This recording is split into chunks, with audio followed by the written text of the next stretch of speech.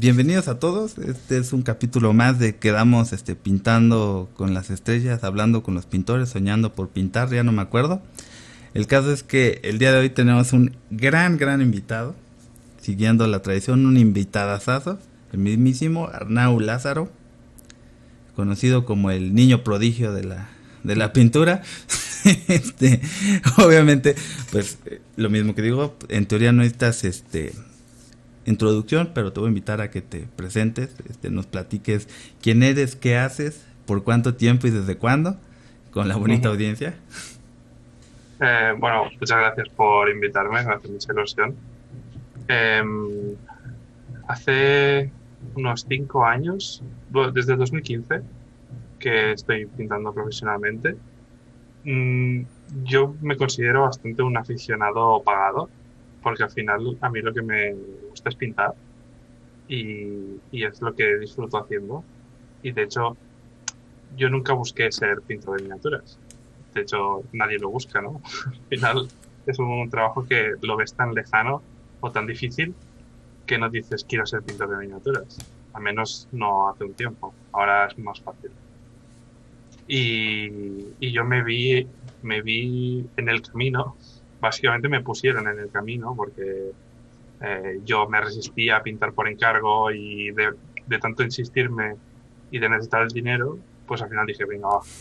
Y esto llegó, una cosa llegó la otra y al final, pues mira, aquí estoy, pero nunca me planteé eso.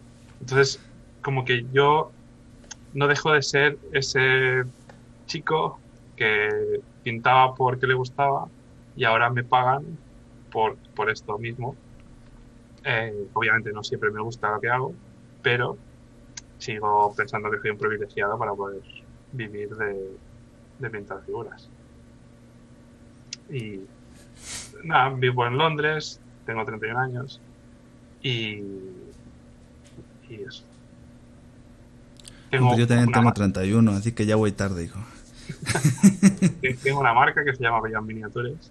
si alguien... Órale. Eso no sabía. Este, de todos modos, lo que siempre hacemos, o sea, aquí atrás va a estar, este, se van a hacer chiquitas nuestras caras y vamos a estar mostrando cosas para que la gente vea. Entonces ahí me pasarás los links de todo lo que tú gustes. Eh, lo mismo hicimos con, este, con Banshee, ¿no? Este, le mandamos una lista con los, este, identificamos los tiempos más importantes de la plática y le decimos qué, qué te gustaría que mostremos en este momento.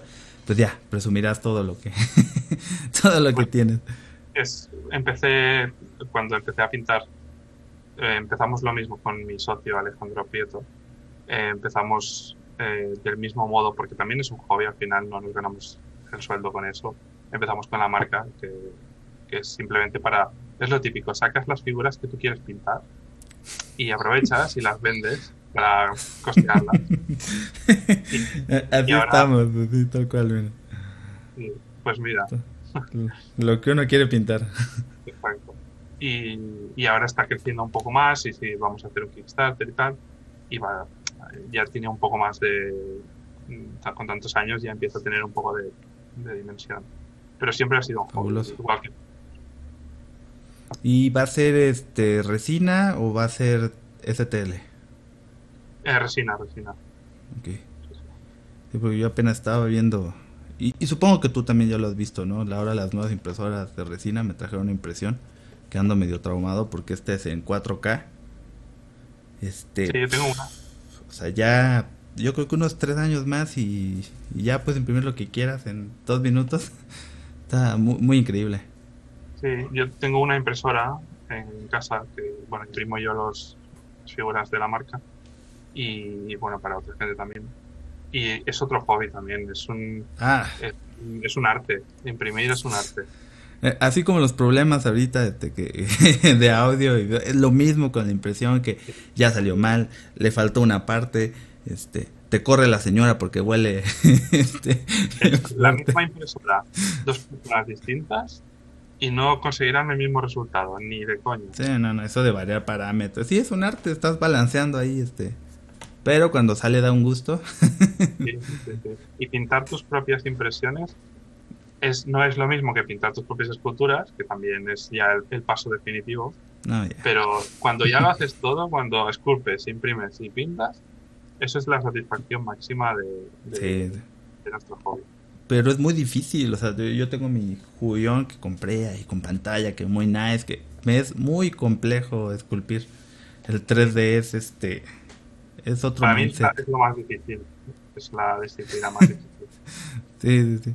Porque al final de cuentas pintando tienes una guía, ¿no? Y era lo que siempre les decía, que por eso es que luego no tachan la pintura de figuras como este como el libro de color en 3D, ¿no? Pero este pero bueno, también depende de qué tanto te metes en algo, es cuando se vuelve un arte, ¿no? Y, y que precisamente de eso me gustaría que, que platiquemos, sobre la curva de aprendizaje. O sea, ¿cuánto tiempo tienes tal cual pintando? Así que agarraste un pincel y una figura. Yo empecé mm, pronto, eh, no sé si debía tener 10 años o algo así. Lo típico que ves en un kiosco los fascículos de Warhammer, de, no, no recuerdo qué era. Pero sí recuerdo la caja de tercera edición, creo, de Warhammer 40.000. y cuando era muy, muy, pequeño y fue recuerdo que ese fue mi primera aventura con el pincel. Luego lo típico vas dejándolo llegas a una edad en la que a lo mejor mm, hobbies de estar sentado solo en casa no tienen tanta cabida no cuando tienes 15, 16, 17 años no, no estás tan pendiente Yo, eh, yo he escuchado mucho de muchos pintores que si no te has tomado un break de la pintura, no, este, yo no me he tomado un break, o sea, bueno, así de muy chico pinté figuras de cerámica con mi mamá, este, que le gustaba mucho llevarnos, este, pero pues realmente llevo unos cuatro, sí, cuatro años, un poquito más, y todavía no me he tomado el break, y por lo que veo en timing, pues tampoco tengo tiempo de andar tomándome breaks. este, pero no se me antoja. Eh, yo he visto el, público de la gente, al menos las personas que nos siguen a nosotros o que siguen el rubro. Estamos hablando de gente de 25 a 45 años, en general, de acuerdo a las estadísticas ¿no? de, internet. Y este y pues sí me queda claro que de alguna forma es complejo que sea un hobby para alguien muy joven, quizá por los ímpetus o las ganas de andar en la pachanga, ¿no? yo de 16 a 24 pura guitarra eléctrica y este, y otras cosas, ¿no? Pero igual estaba sentado. Y salir y estar con la play y cosas un poco más inmediatas. El LOL. yo no juego nunca al LOL, pero al WoW sí. no lo juegues. No lo juegues. lo, lo una vez y lo desinstalé el mismo día. No, no, no lo juegues. Es adictivo, enfermizo. no te va a dejar nada bueno. No, este. Eh, pero, pues por ejemplo, tenemos un pintor muy joven que le mando saludos a mi padrino, que es su alumno, este Diego, Dieguito tiene como 18 años, o creo que menos. Está mejorando muchísimo y le fascina, ¿no? Entonces, precisamente, y supongo que es igual que con la música, si empiezas joven, tienes muchas ventajas estratégicas de, de percepción y aprendizaje. Yo creo que en los primeros años, que fue eso de desde los 10 hasta los 18, que fueron 8 años que a lo mejor pintaba uno sí, uno no, por ejemplo. Fueron, fueron unos años en los que mi pintura evolucionó muy poco. Era eh, tinta, o sea, lavado de tinta, pincel seco, eh, poco perfilado de, en un marine y poco más. O sea, era... El clásico. Se, dice pintura porque se tiene que decir de alguna manera, pero era manchar figuras. Y fue a partir del no, recuerdo qué año fue, creo que el 2014 o 13, que conocí a, mi socio, Alejandro, y, y él, él, tiene mucho ímpetu de, de, ser mejor. De él, yo siempre le digo que él trae a todo. Todo lo que hace lo tiene que hacer perfecto. Y yo no tenía esa, esa inquietud. Yo siempre hago las cosas porque me, me, lo paso bien y cuando no me lo paso bien, dejo de Y, y estaba en ese plan, yo pintaba mis marines, y entonces él y su búsqueda de, de mejorar como que me envolvió a mí también. Y entonces yo también empecé a querer mejorar y tal, y empecé a conocer pues, pintores, empecé a conocer marcas y figuras de mayor escala que son mucho más, eh, tienden mucho más a la pintura que, que las pequeñas. Y, y, entonces a partir de ahí sí que es cuando empecé a mejorar. Y eso es a partir de, yo creo que el 2014, más o menos. Ok, entonces digamos que dedicado a, a la técnica, siete años. Seis, sí, seis. Órale. Sí, sí. Pues es todo un... Te digo que a mí me parece todo un arte. Obviamente lo mismo que me decía este Banshee y Ángel Giralde, pues es que ahorita ya está toda la información, todo está disponible para que puedas avanzar muchísimo más rápido, ¿no? En, nuestros tiempos, dicen, este, no había de eso. Les mando saludos a ambos. Este, pero precisamente eso de contagiar, eh, yo lo he visto, eh, le platicaba a Banshee que a partir de que publicamos la entrevista con él, mucha gente empezó a mensajear, oye, quisiera tomar un curso más pro, oye, ¿qué necesito para mejorar esto? O sea, ya, ya me, me mandan mensajes pidiendo ya críticas y es maravilloso porque... Y, es otro tema que me gustaría platicamos de la presión de internet, de, de la curva de aprendizaje y de que tienes que, de alguna forma, hoy en día si no destacas no existes. Si en internet no te pone 20 mil likes, pues quién eres, ¿no? Entonces es complejo esa presión. Y estamos hablando de una curva de aprendizaje mínimo de seis años, ¿no? y eso en un caso de alguien que se le da. Porque sí hay una pequeña diferencia. Yo pienso que es más práctica que talento, pero hay. O sea, existe. Sí, hay, porcentajes. Entonces, eso contagiar a las personas, yo creo que es lo más maravilloso y yo creo que es la tarea de, de todos para alcanzar mejorar las cosas y crecer y que sea un arte, ¿no? Sí, sí. Y pues tú me dirás. pues eh, iba a decir algo y ya se me ha ido. Perdóname. ¿eh? Luego me regañan todos, este, perdóname por interrumpir a la gente, ya, me quedé ciscado con Banshee, pero, pero adelante. O sea, lo que hablo de contagiar, supongo que tienes alumnos, supongo que te preguntan, me decía apenas un cuate del simio, que también le mando saludos al simio, con su apodito, este, que alguna vez te mandó un mensaje a Instagram y le, y le ayudaste, este, le, comentaste este, sus piezas y todo, y pues qué maravilla, ¿no? Eh, yo creo que eh, eh, muchas veces vemos a la gente como, oh Dios mío, es el gran pintor. Ya. no, es lo que te decía antes, que al final yo pues soy un chico como cualquiera de los que me pueda escribir y pinto, pintaré mejor o peor, pero al final no, no o sea, la diferencia es nula. Somos personas igual.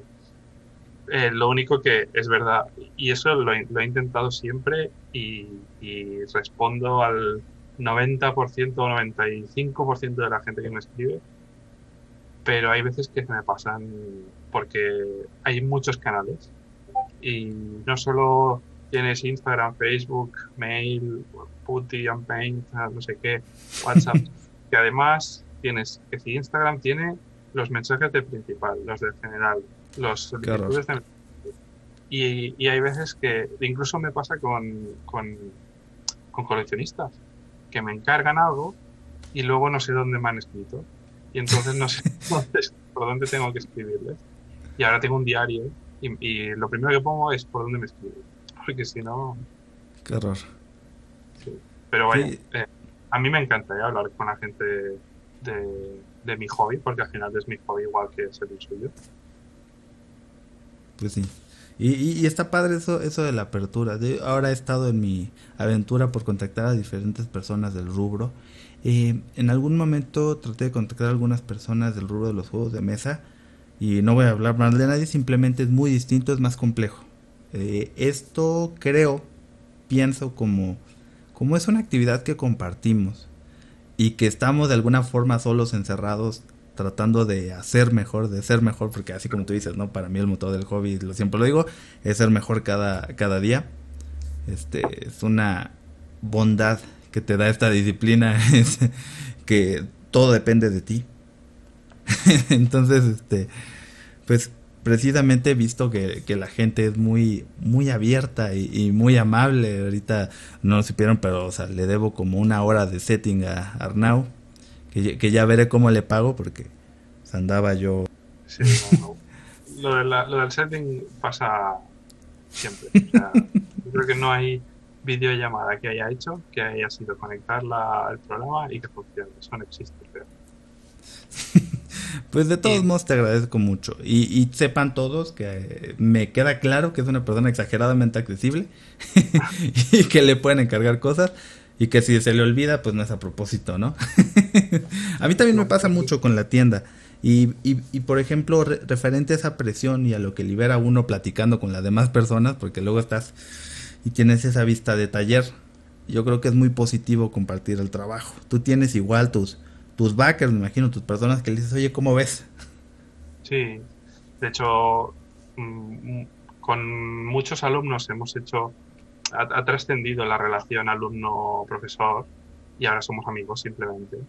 Y, y yo, el tema de pedir consejo es algo que lo tengo un poco, no me gusta pedir consejo, ni me gusta que me lo pidan, en el sentido, o sea, yo siempre lo doy, si me lo piden, genial, pero creo que tiene, es un arma de doble filo, porque cuando pides consejo, tienes que pedirle consejo a alguien que sepas que sabe qué le estás pidiendo. Si yo estoy pidiendo, por ejemplo, estoy haciendo una figura, me invento, ¿vale? Un histórico con mm, texturas y super hiperrealismo, por ejemplo. Eh, y me voy a alguien que solo pinta mm, tipo cómic y que no ha estudiado el, el hiperrealismo, por ejemplo, él me va a dar unas pautas, unas, unas correcciones respecto a, cómo él ve la figura, cómo él ve la pintura. Si yo le estoy pidiendo eso a alguien que ve la, la pintura de mi pieza de una forma diferente a la que yo la veo, me, hará un cruce de, ideas en mi propia figura que no va a tener sentido. Entonces, si pido consejo, tiene que ser un consejo eh, muy objetivo que me ayude en el camino en el que yo quiero que esa figura vaya. Entonces, por eso eh, el consejo es, es, difícil de, de, manejar, sobre todo como más arriba o como más compleja es la pintura, más pasa porque entonces entran muchos más factores en juego. Pero, pero bueno, a mí dar consejo me gusta, ¿eh? me gusta muchísimo. Y, siempre que... Ya me lo está espantando a todos. Yo siempre lo digo, cuando alguien eh, me paga una clase, siempre le digo, con esta clase va una, eh, ¿cómo le diría? Una especie de coaching de por vida. Obviamente es importante, vamos pero siempre em, eh, responderé a cualquier pregunta que cualquier persona me haga. Súper, entonces das eh, coaching en línea, personal, ¿cómo ah, sí, Doy eh, coaching así por Skype o yo pongo mi, mi Photoshop y con el lápiz voy retocando la figura en tiempo real. Y, es como, pero es una, otra cosa aparte del, del consejo es yo prefiero hacer toda la figura y luego pedir el consejo a pedir el consejo a la mitad. Y lo mismo para que me lo pidan a mí. Yo prefiero que la figura esté acabada y luego corregir las cosas respecto a la figura que ya está acabada, porque si no es como, no sé lo que estás pensando, no sé, ¿esto lo vas a hacer o no lo vas a hacer? Eh, ¿Te lo corrijo o no te lo corrijo? Muchas veces dices algo y, sí, pero eso ya lo quería hacer. Bueno, vale, entonces, pues mejor haz todo lo que tú creas, haz el 100% y entonces yo puedo añadir un poquito. Que luego no considero que lo mejor sea hacerlo en esa figura. De hecho, no, yo no lo creo. Yo creo que lo mejor es el concepto de esa, de esa corrección, lo aportas al siguiente mm, modelo que hagas. Si has fallado en, yo qué sé, la definición, pues presta atención en el siguiente modelo y en, la definición que esté mejor que en el anterior, en vez de retocar el anterior y que se eternice. Es mejor hacer dos figuras en 10 días que una figura súper buena en 10 días. Ok. Sí, bueno, ahí ya aplica la paciencia, ¿no? Hay, hay personas que se pueden aventar tres meses en una figura, en un pequeño diorama. Yo no puedo, por ejemplo. Primero porque pues el 95% de lo que pinto son comisiones de pintura de clientes, entonces me van a ahorcar. y probablemente no me paguen el tiempo dedicado, ¿no? O sea, no, no, no, no, no, no alcance. Este, pero sí hay gente muy paciente que se avienta seis meses en un diorama y los admiro porque no, no me da la... Soy igual más pasional, digamos. Sí, no, no, yo lo digo desde el punto de vista del aprendizaje, sobre todo. Claro. Y yo, a mí me encantaría ¿eh? Tener tiempo para poder hacer una figura y decir, mira, tardo dos meses en esta figura. Vamos, me encantaría. Obviamente no puedo, por, porque no, no, puedo vivir entonces de, del aire, ¿no?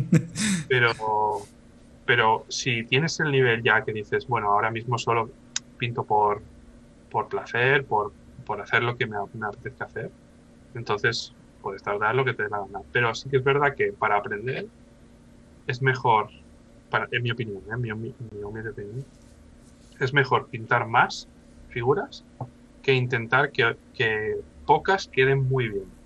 Creo que se aprende más empezando una figura nueva y aplicando más cosas que no relamiendo la misma figura e intentando mejorarla. Creo que eso, eso ralentiza mucho el aprendizaje. Y causa mucho desgaste. O sea, yo creo que a todos nos, nos debe haber pasado. Que tú ves la figura y dices, ah, pues creo, creo que ya terminé. Creo. Creo. y la vuelves a ver y dices, y le arreglas algo y queda mal. Y ya no te gustó y ya empiezas a parchar sobre parchar, y ya de pronto ya se ve pastoso, ya te quieres arrancar la cabeza y, y, y, repasas tu existencia y dices, puta. Entonces sí, e, ese tema es el de saber cuándo es suficiente, ¿no? Y pues siempre va a ser mucho más este limpio iniciar de nuevo en otra figura, pero e, esa es la otra, hay muchas personas, sobre todo cuando van empezando, y lo digo por el diputado, el Darby, que le manda saludos, siempre despinta sus figuras. No, es que no me gustó, la vuelve a pintar y ¡pah! la despinta. Y digo, no, para mí es un grave error. Estoy de acuerdo. Eh, yo tengo ahí unas figuras, las primeras que pinté están plastosas, horribles, pero por ejemplo a mí me sirven cuando viene gente a clase, se las enseño así, mira, o sea, aprendí. Y, digo, a mi nivel básico, junior, si tú quieres, pero la gente se da cuenta que precisamente pues, no naces este, pintando, ¿no? Y creo que es muy importante tener ese recorrido. Sí, sí, sí, es muy importante, súper importante. Entonces, no despinten sus figuras, chavos. Yo sé que las figuras de Warhammer son caras, pero no las despinten. No, sí, además, ¿qué más, qué más da? O sea, eh, el, el, además es una cosa que no, creo que no se entiende, pero la pintura, la calidad de la pintura, no está al final, está al principio. Como mejor sea al principio, mejor es la pintura, mejor, como mejor es el boceto, como mejor es el planteamiento, la idea, eh, el detalle, el final, el refinado, lo refinado que esté o no, es un, es un pequeño porcentaje del, del, general de la figura. Lo que importa es el planteamiento, la volumetría, el, la idea que hay detrás. Sin, sin, sin eso, si eso es aburrido, por muy refinado que esté, será aburrido. Si, tú te flipas con el principio, pues mm, tienes muchísimo más ganado. Que por ejemplo ahí yo creo que es el ejemplo clave y perfecto para hablar de metal no metálico. Porque mucha gente, oye es que no me sale, oye es que dame una clase, oye es que mira, y me manda una foto de cómo, cuando van a la mitad. El metal no metálico normalmente, y sobre todo cuando no sabes, cuando apenas estás aprendiendo, eh, a la mitad del proceso se ve horrible se dices, bueno, esto, esto no, no parece oro. Y, volvemos a lo mismo de la presión de redes sociales, ¿no? Te metes ahí Arnau Lázaro en Instagram y pues ya te das un tiro, ¿no? Entonces, eh, tú ves el trabajo y dices, no, esto no es, y me ha pasado, este, que dices, ah, ya, lo voy a hacer metálico, no, no, no quedo. Cuando realmente el metal metálico verdadero es muy difícil también, ¿no? Pero bueno, ya hablaremos de esa técnica. Pero precisamente es ese rollo, ¿no? De que tú ves el trabajo y dices, no, no, no, pero son esas bases de dónde pongo qué cosa, dónde va la luz, dónde va la reflexión, que yo siento, no sé, tú como lo veas, siento que de alguna forma no es tanta práctica, sino entendimiento. Y es complejo, o sea. No, no, es muy complejo. De hecho, el pintar no metálicos en sí no existe, no, no estás, no es voy a aprender a pintar no metálicos. Estás aprendiendo a pintar, porque estás aprendiendo a interpretar de una manera, mm, eh, o sea, todos los materiales están bajo la misma luz, todos los materiales están en el mismo planeta y, están em, regidos por las mismas físicas. Lo que pasa es que unos materiales reaccionan de un modo u otro a la, misma luz. Si, sabes que un, yo me, me invento, una esfera eh, reacciona a la luz con un punto de luz y con unos reflejos concéntricos, pues sabes que si, es de, tela, que es un material mucho más mate, pues el brillo será mucho más disperso. Pero sabes que si es un, metal, que el brillo es mucho más eh, contrastado y mucho más duro, pues eso es lo único que necesitas saber. O sea, a ver, necesitas saber muchas cosas, pero la, cosa es eh, saber interpretar volúmenes. Si, si sabes interpretar un volumen, a partir de ahí puedes jugar con lo que quieras. Puedes empequeñecer o agrandar brillos y, mientras eso esté en coherencia con la forma, va a dar el efecto. Por eso lo de pintar no metálicos, pues hombre, realmente no, no es la manera de, acercarse a eso. Si tú aprendes a pintar y aprendes a interpretar volúmenes, vas a saber hacer un no metálico, un cuero, una tela, lo que quieras. Sí, ya, ya teniendo esas bases, ya te puedes pasar a cosas más complejas, ¿no? O sea, si ya sabes pintar cuero, ya puedes pensar en diferenciar entre cuero curtido, este cuero rojo, este, si ya sabes metal, metal viejo, desgastado, telas satinadas, este, sea, ya es un montón de cosas, pero, pero esas bases son lo más complejo porque de alguna forma estamos acostumbrados a solo ver y no analizar. ¿No? Entonces, por ejemplo, aquí que tengo esta luz en la cara, pues es porque tengo una lámpara aquí arriba, ¿no? Que aquí está en escena. Pero si nada más ves este cuadro y dices, bueno, ¿de dónde viene esa luz? Y, y todos esos conceptos, este, yo, yo pienso que ya son de pintura y de arte. este, sí, claro. Eh, nos metemos en el tema de pintura de, de, display, ¿no? De, para, para concurso, vitrina, como quieras llamarlo. Que sin embargo, eh, siempre mm, de alguna forma dicen, bueno, sí, pero yo tengo un ejército y pues no quiero que sea la gran cosa porque son 283.026 monitos igualitos y etcétera. Sin embargo, esos conceptos sí los puedes usar, por ejemplo, cuando imprimas en cenital, te la luz por un lado nada más, este, o sea, tampoco se crean que porque no van a pintar display no pueden aprovechar todos esos este beneficios de saber interpretar un volumen o la forma de un material. Igual lo van a hacer rápido, Igual el metal no metálico, yo me tardaba mil años al principio, eh, todavía no me sale al 100, pero cada vez lo hago más rápido, ¿no? Entonces, pues nada más es entender y replicar y practicar y ya a un nivel artístico, pues sí, ya reinventar y, proponer, ¿no? Claro, claro. Sí, al final cuando sabes em, cómo interpretar un volumen, em, ya no tienes que pensar, porque ya lo, tienes interiorizado y al final eh, un profesional cualquiera en un 28 milímetros, a lo mejor se está tres o cuatro horas para, para dejarlo muy bien. A lo mejor no al mejor nivel del mundo, pero, pero que no es excusa de, no quiero pintarlo rápido. Vale, que a lo mejor quieres pintarlo más rápido y bueno, pero ahí ya no me meto porque al final eso es, mm, es colorear más que pintar para hacer una diferencia. Claro, bueno, el chiste es tomar lo mejor de todos los mundos.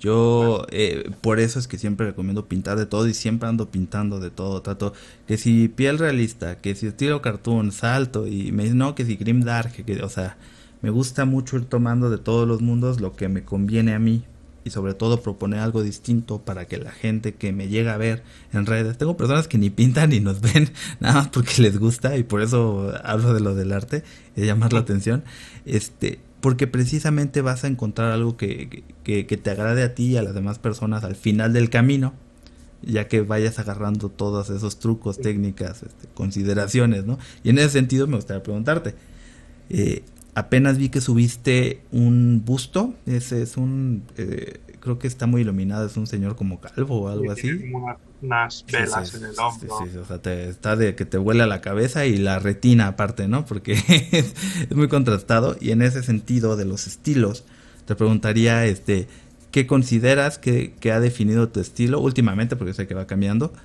Este, y cómo haces un balance entre que algo sea realista, pero sea llamativo. Te doy un ejemplo. Eh, pinto una tela y la quiero en rojo ultrasaturado porque entiendo que en internet pues, a la gente le va a gustar mucho. Pero a veces eh, lo piensas y dices, bueno, esto, esto no se vería así en la, en la vida real. ¿Cómo haces ese balance?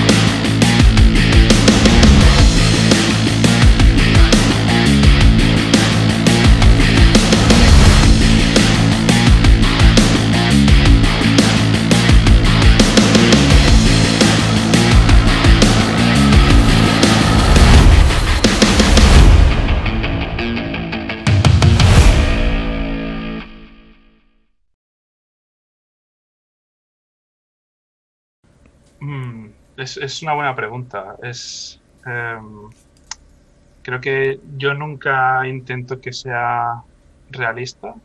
Yo creo que sea atractiva, que la figura sea atractiva. Y muchas veces hay una especie de balance entre lo que es la interpretación coherente o, realista, entre comillas. Realista creo que es mala palabra. Natural eh, sería mejor. La interpretación natural con la que a lo mejor favorece a la figura. Y muchas veces, el, ejemplo más claro es, por ejemplo, el de las sombras proyectadas. Eh, por lo general, no, no trabajamos con sombras proyectadas. Trabajamos con una iluminación cenital sin proyectarlas.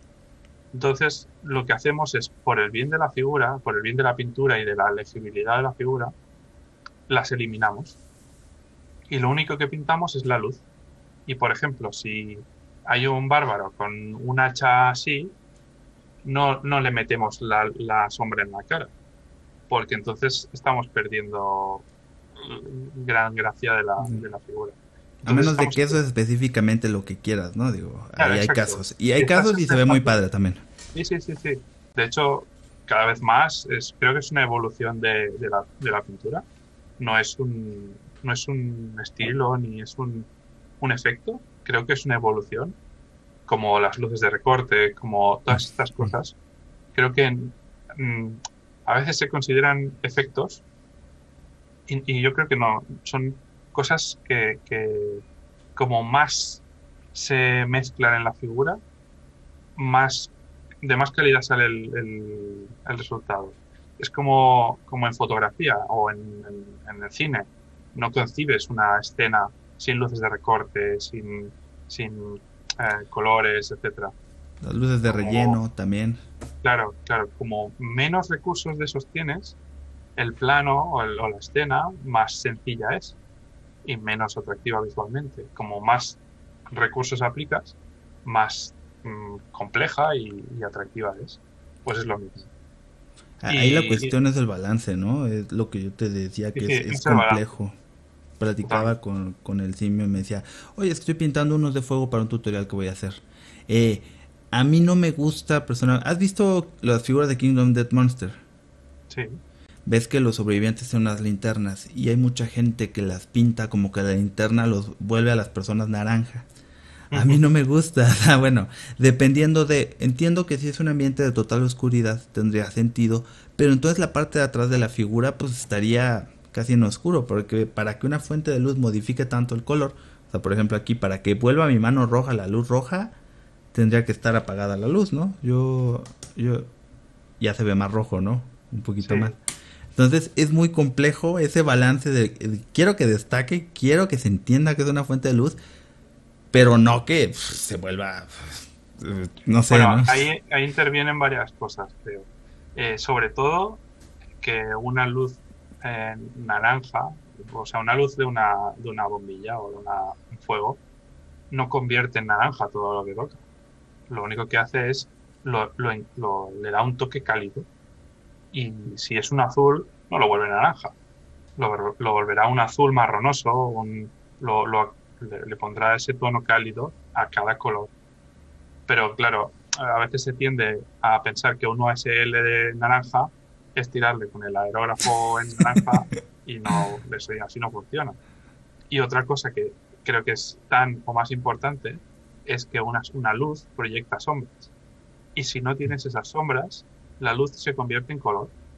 Y si tienes una luz en un lado y una luz en el otro, juntas son dos colores, no son dos luces. Necesitas para que sean luces una sombra que las delimite.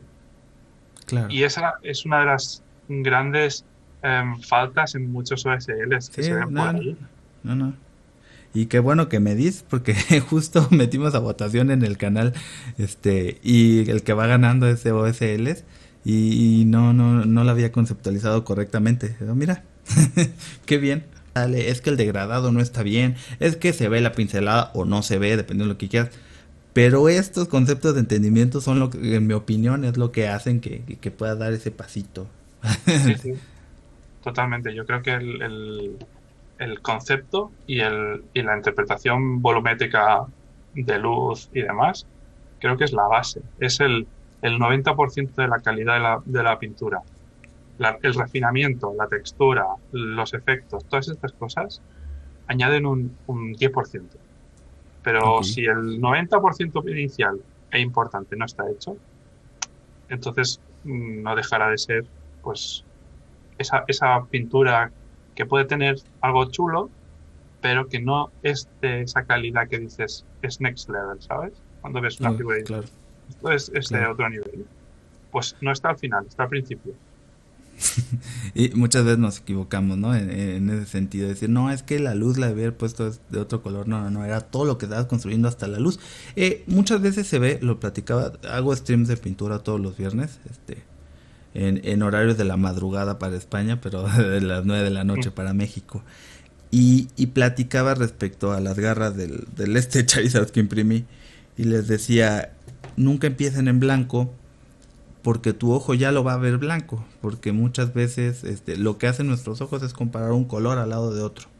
Entonces, obviamente, si pones un color hueso al lado de un blanco, lo vas a ver como hueso. Pero si lo pones al lado de un negro, pues lo vas a ver como un blanco, ¿no? O sea, por, esa distinción. Entonces, los contrastes no solo son en cuanto a blanco y negro, sino a temperaturas, ambientes, y un montón de conceptos que, si bien puede sonar muy refinado y rebuscado, la verdad es que ya que empieza a hacer clic, eh, insisto, aunque pintes ejércitos, pues te va a ayudar en todo, ¿no? Sí, sí, totalmente, estoy de acuerdo. Y de hecho, hablando de, siguiente nivel, ahí es donde me gustaría preguntarte, este, ¿hay alguna técnica o estilo que te cueste mucho trabajo, que no te salga, que quieras que te salga, o que te costó mucho que te saliera, o que todavía estás practicando? Creo que mi asignatura pendiente es la, la limpieza o la definición. Creo que ambos van un poco ligados según cómo lo entiendas. Mm, yo no soy limpio ni, ni, defino en exceso, o sea, creo que soy un poco sucio. Eh, creo que tiene cierta gracia, según qué figuras puede ayudar, pero hay, hay, en ciertas cosas en las que no me gusta. Y yo mismo me, me reconozco, bueno, a mí mis figuras no me suelen gustar, pero eh, muchas veces ese, ese punto es un punto con el que tengo que luchar bastante en mi cabeza, de decir, Mm, necesito dedicar mucho tiempo para que me salga esto, algo muy limpio, muy, ah, no sé, como muy, muy pulido y no como que balancear el tiempo que me costaría con obviamente el trabajo que, que estoy haciendo y me están pagando, pues me cuesta mucho. Y entonces como no tengo esa parte de desarrollo, de, no tengo ese tiempo para desarrollar mi, mi habilidad afinando, eh, es como que me falta. Me siento un poco, em, no sé, no, no muy hábil en ese aspecto, ¿sabes? En el aspecto de, la finura y la limpieza, creo que no soy de todo.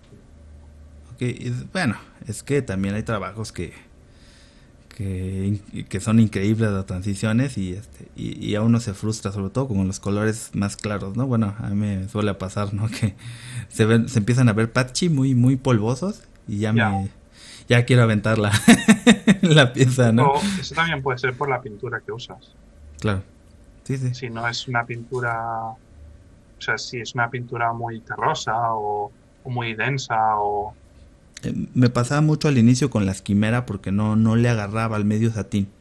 O sea, son, las quimeras son bastante complejas de usar. Yo las uso mucho, pero no para pintar. O sea, no. La, la, yo uso. Yo me, me, facilito las cosas, no me gusta complicarme la vida.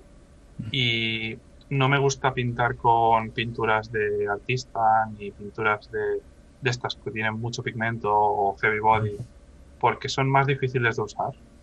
Entonces, yo prefiero pintar con pinturas sencillas, Vallejo o Citadel, es básicamente lo que uso. Bueno, ahora uso mucho AK, AK Interactive. Las de tercera generación, que son muy buenas. Sí, y las, las, estoy checando desde hace rato, vi que sacaron un maletín hermoso. sí, sí, hay muchos colores y están muy bien. Y, son sencillas de uso. Poco a poco, sí, son como Vallejo, es más o menos... Vallejo tiene esta capacidad mm, de que sirve para todo de que puedo hacer cualquier cosa. Es como la más estándar, ¿no? Sí. Pues em, acá es más o menos lo mismo, eh, pero creo que con un poco más de color. no sé, me gusta un poco más.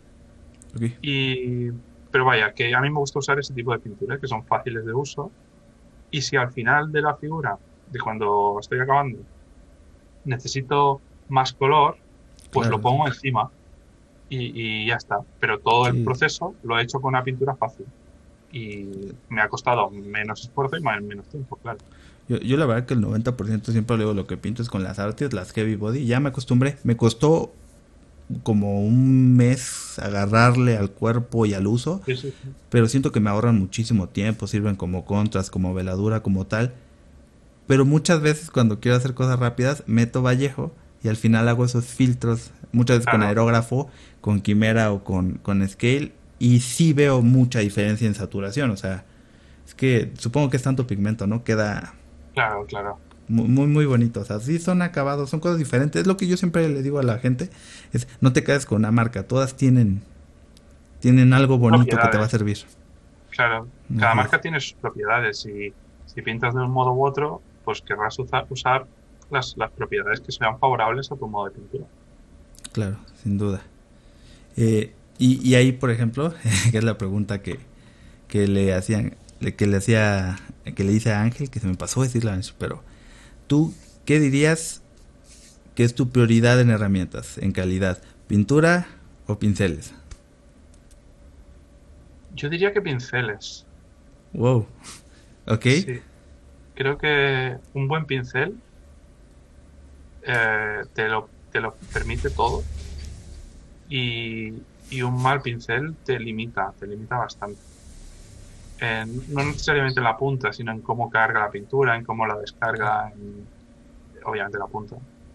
Y, como siempre he pintado con pinturas mm, normales, Vallejo, y me da un poco igual, creo que le doy más importancia al pincel. Y en ese sentido, pues, ¿cuál sería tu pincel favorito? Pues creo que el Winsor and Newton eh, número uno de la serie 7 es el, Rey. Creo que cuando ese pincel sale bien, es imbatible. Es, completamente imbatible. Si no sale bien, que eso también pasa últimamente, eh, últimamente uso mucho eh, Broken Top mm. y que son un pelín más grandes, tienen muchísima punta no descargan igual la pintura y lo que, lo que hago últimamente es hago el, boceto, la pintura, el, refinamiento con el Windsor, aunque tenga poca punta, Y luego cuando tengo que llegar a la parte de detalle, cojo un Broken Tot o uno de estos que tengan mucha punta y lo uso entonces. Entonces tengo esas dos, porque el, el Windsor no lo, no lo iguala a nadie en descarga de pintura y tal, es, es el rey y es imposible, no he encontrado nada que se parezca a eso. Entonces, pues bueno, voy usando los dos. Y, y, la verdad es que siempre está la, la, discusión de que, ok, ¿necesito materiales caros o no? Tal o cual o no. Obviamente para iniciar no. Pero una vez que ya más o menos comprendes lo que es un trazo, lo que es descarga de pintura, lo que es tener un cuerpo que respalde para que no se te seque la punta, este, y esas cosas, pues ya es cuando dices, ok, vale la pena comprar un material pues, más caro, ¿no? Nosotros, digo que trajimos este Artisopus a México. A mí me encantan. El, S0 es mi favorito. O sea, me ha durado muchísimo y la punta es increíble. Este. Y hay gente que no, no se da cuenta de eso hasta que no los usa, ¿no? y, o la peor de todas los compran y los tienen guardados, que porque no los quieren gastar, que porque son la joya de la corona, que de aquí les vuelvo a decir, los regaño a todos, usen sus cosas, no para que me compren, vayan y compren Winsor Newton, pero pues ese es el punto, ¿no? Que, que, que, puedan entender la diferencia entre un material bueno y uno no, y el nivel de control que te da un pincel bueno, vale mucho la pena probarlo, ¿no? Porque hay gente que compra esto de Amazon de uno, otro, otro. Si hay que gastar en algo, para mí es en el pincel no, no, hace falta gastarte 20 euros o lo que sea en un Serie 2, o sea, en un Serie 7 número 2, o, pero con que tengas uno, bueno, para cuando lo necesites usarlo, e, eso te abre puertas, te abre muchas puertas. Y, y luego, lo típico de las pinturas, que, que si tengo la pintura esa de de Golden número 8 de, que vale 80 euros, oh, que si me compro la tinta de no sé cuántos, eso te va a añadir un 0,5% al final de la, de la figura entera. No, no te va... Eh, puedes hacer cualquier cosa con pinturas de básicas de Citadel, de Vallejo, de cualquier cosa. Sí, sí, o sea, básico, básico en niveles, ¿no? Porque también luego ya están las de las de, papelería y pues ahí sí ya no es bueno, claro, tan recomendable, ¿no? Digo, o sea, ni muy, muy, ni tanta, ¿no? Así luego me dicen que si pueden usar uno de esos, este, eh, aerógrafos Trooper de Talacha, y le digo, pues para el primer, pero para otra cosa... No. sí, sí, sí, o sea, también hay, hay que, que, tener balances, ¿no? Este, mm, ah, yo, por ejemplo, me compré esta cosa, el, el, ah, el Infinity Nunca lo recomiendo, honestamente, porque es exageradamente bueno, pero es exageradamente caro. Y alguien que todavía no le agarre se va a tardar mucho y va a batallar mucho y va a estar cambiando puntas, se le va a estar tapando porque es de punto 15. Entonces, yo en el tema del aerógrafo también soy un poco cutre, no sé si cutre o, realista, no, no, lo sé. Yo tengo un, un Evolution, que lo tengo desde hace, pues eso, seis años y, y creo que es más que suficiente. O sea, bueno, el Evolution es bueno, es, o sea... Y no, no es un... He, pintado mucho tiempo con... Pinté con uno de estos de 30 euros que se llamaba Artesanía Latina o algo así. Y era, un, un, aerógrafo de una pieza, o sea, de estos que son muy cutres. Pero... Mmm, como que el, Evolution es con el 04, yo pinto con la Google del 04. Ok. Hay más que de sobras para hacer lo que sea. O sea, un aerógrafo del 04 hace una línea mm, de lápiz. ¿Para qué, ¿Para qué quiero yo un aerógrafo que cuesta el doble o el triple con una punta que es la mitad o menos? No, no me hace falta. Si estoy haciendo todo con, con un aerógrafo medio, ¿no? Obviamente en paréntesis de que requirió muchísimo tiempo y práctica y entendimiento y, conocimiento de la dilución para poder hacer una línea de lápiz con un aerógrafo de punto cuatro tampoco. Porque si no, la gente va a decir, pues a mí no me sale, no sirvo. No, no, no, tranquilo, ¿no? no, claro, claro. Pero tampoco, si no lo sabes hacer con un, con un Evolution, no lo sabrás hacer con un Infinity. Será un poquito más fino, será un poquito más tal pero seguirás sin saber hacerlo. Yo, por ejemplo, cuando me piden uno muy fino, a mí me parece que de batalla y económico el Sotar de, de Patriot es muy económico, hace líneas muy pequeñas y con eso la libra, no necesitan pagar un Infinity. Es más, se pueden comprar un Neo Iwata que les va a hacer toda la talacha y un Sotar y están del otro lado y aún así va a ser más barato que el Infinity. Entonces, este, eh, es complejo. Te, digo que muchas veces creemos que este, no podemos avanzar por el equipo cuando no podemos avanzar por, por el pensamiento, el entendimiento, lo que hablamos hace rato, ¿no? Que sin duda los materiales ayudan, la práctica ayuda más y el entendimiento ayuda más también. Eh, en ese sentido, eh, hablando de, experiencias que, que, te hacen aprender y de, y de personas que te hacen aprender, que es importante, me gustaría que me platiques, uno, tu experiencia en pintura competitiva y dos, este, tu, tu experiencia en este, personas que te inspiran a mejorar y que admires en cuanto a la pintura. Eh, pintura competitiva es difícil decirlo porque yo no pinto para competiciones porque yo tengo mi trabajo y intento, hay figuras en las que me permito dar un poco más por, por el hecho de que me guste mucho o por lo que sea, aunque no esté pagado, pues doy un poco más de mí y a lo mejor esas figuras las, las llevo a un concurso si el concurso cae cerca o si el, coleccionista me deja o lo que sea. Pero pintar para, para un concurso, yo creo que no lo he hecho nunca. Y en parte me habría gustado, o me gustaría decir, llega un concurso importante, por ejemplo, eh, bueno, el año pasado habría sido el Mundial en Eindhoven y, y, ahí sí me habría gustado hacer algo. Luego lo aplazaron y lo volvieron a aplazar, así que bueno, no sabremos cuándo, cuándo será, pero sí que es verdad que sí, en, teóricamente en 2022. eh, me gustaría que para el Mundial, por ejemplo, sería mi primer eh, pintura de competición de verdad.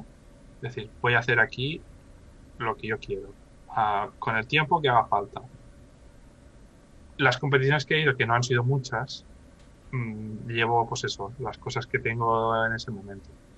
Y es un, un ambiente que tiene dos filos, porque es, está el filo del, de que te puede motivar, te puede, te puede tirar hacia adelante, en plan, es un motivo para pintar, es un motivo para mejorar y para esforzarte. Pero por el otro lado es un... Creo que el motivo por el que tienes que pintar tiene que ser que te guste pintar y que estés disfrutando y que quieras hacer algo. Cuando se convierte demasiado en que pintas por otra razón, por una razón externa, por ejemplo, lo que decías antes de la necesidad de, aceptación en redes sociales y demás, es un poco lo mismo. Eh, es un arma de doble filo, porque cuando tu, tu camino de disfrute de la pintura empieza a torcerse y empieza a ir para que yo pinto para conseguir esos likes o esos premios o esas cosas, entonces es cuando la pintura empieza a decaer, porque no pintas con pasión, no, no, no das el 100% de ti, lo das de otra forma. eres más propenso a, a los mm, atasques mentales, a, ¿sabes? A estas cosas. Creo que cuando pintas por ti mismo, es, todo fluye más, te diviertes más. Entonces, nunca me ha, yo ni en redes sociales, ni en, ni en concursos, nunca lo he tomado como un medio, o sea, como un, como un fin sino un medio o un, algo que está en el camino. Y las redes sociales son la manera en la que le enseño a la gente lo que hago y es como mi galería, al final es mi galería. Y los concursos es un sitio en el que voy a conocer gente y sobre todo comparo mis trabajos con los de los demás, que eso es otro, otro punto que creo que marca la diferencia. Como vivimos Mm, todos pintando en nuestra cueva, eh, encerrados en nosotros mismos, no sabemos lo que es la pintura que hacen los demás. Que quiero acotar, o sea, estará bonita, tendrá luces, eh, no chica grande, tu banquita, tu recámara, el diván, pero es una cueva. una cueva de pintar. Adelante.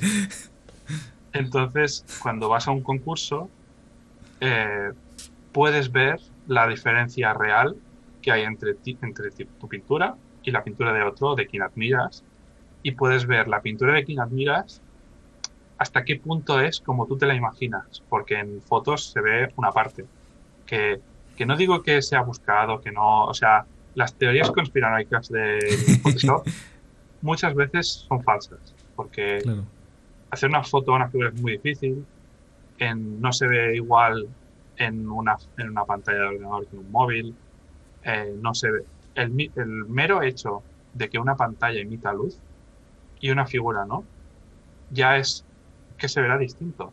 Un blanco en una pantalla es un blanco que te emite luz. Un blanco en una figura es blanco. Entonces ya ese, ese, mismo punto ya, te, ya es definitorio de que será distinto, ¿no? Entonces, eh, ver estas cosas en mano te, te hace entender lo que puedes llegar a conseguir, porque cuando no tienes mucho recorrido y no has visto muchas figuras, ves cosas online y las idealizas. Claro. Y muchas veces es menos de lo que, o sea, que siguen siendo espectaculares y, y probablemente sean mejores en muchos otros aspectos. Pero hay algunos en los que, que hace falta verlas en directo para comprenderlo, como la potencia de color, la definición es algo que no se aprecia si no lo ves en mano. Eh, la, la, una cosa súper importante que es, si no lo ves en mano no lo puedes ver, es la, la consistencia de la pintura. La potencia de... No necesariamente de que sea em, saturación, puede, puede ser un color desaturado, pero que ese color desaturado sea sólido. Eso marca la diferencia muchísimo cuando ves una figura en mano. Y todas estas cosas no las puedes ver si no vas a un concurso o una... Entonces, para mí eso es el, motivo por el cual voy a un concurso. Para ver esas cosas y poder aprender. Es simplemente entras a las puertas de un concurso y has hecho un level up directamente. Porque hayas visto un montón de cosas nuevas y es, es la gracia. Claro. Sí, no, y de hecho, por ejemplo, ese es otro punto muy importante que yo suelo recomendar cuando viene a clase. Es que le digo, ok, no es que se vea más o, más o menor la figura, pero toma tu figura cuando estás pintando y salte del taller y ponla a la luz del día y vela en otro setup totalmente diferente. Y si tienes una luz este más amarillenta también ponla porque ahí te das cuenta de cosas que por el ángulo, la intensidad, lo que tú quieras no habías visto, ¿no? Y sí, o sea, y, ¡ay! es otra figura, ¿no? Y la idea es que se vea lo mejor posible en todas las todos los escenarios posibles, ¿no? O, figuras que son figuras oscuras, las figuras oscuras las que tienen mucha sombra o son de temática oscura, siempre se van a ver mejor mm, en una luz normal ambiental. Si las pones debajo de unos flexos, vas a ver el truco. Es lógico. Porque no, no existe el negro puro, mm, vacío, como lo ves en una foto. Entonces, si lo ves en, una, en un ambiente de, pues ahora en mi comedor, lo verás súper chulo, porque verás las luces bien y las sombras se, te desdibujarán. Pero si lo pones debajo de los flexos le ves el truco, claro. Pero eso también es normal. Y, y esas cosas es muy interesante verlas. Y luego me habías hecho otra pregunta, era una... Es correcto, sobre las inspiraciones. y eso, las inspiraciones. Pues mi mayor inspiración siempre ha sido Mark Masclans. Eh, bueno, somos amigos ahora eh, que le voy a mandar un mensaje también, le voy a dar lata. Esperemos que se anime. Eh, siempre ha sido, además somos de la misma ciudad y, lo conocí muy pronto. Y siempre ha sido mi, referente número uno. Luego, eh, obviamente Alfonso también lo ha sido, sobre todo con las figuras de Night Models, que me gusta mucho Marvel y, obviamente pues tendí para ahí. Y, mi primer profesor en realidad fue Jesús Martín de Nocturna. No sé si te suena la marca Nocturna Models. Sí, pues sí. De hecho, esas sets de Fantasy Pro de Nocturna con Vallejo. Ah, pues sí, mira. Sí, yo también. Qué belleza. De, esas he gastado dos sets. es que están espectaculares los tonos y cómo cubren. Tienes razón, te hacen más fácil el trabajo porque están. Qué belleza. El, el, el Fairy Flash set El de. Ese me falta. El de Ada, para mí ese set es. Está muy bien.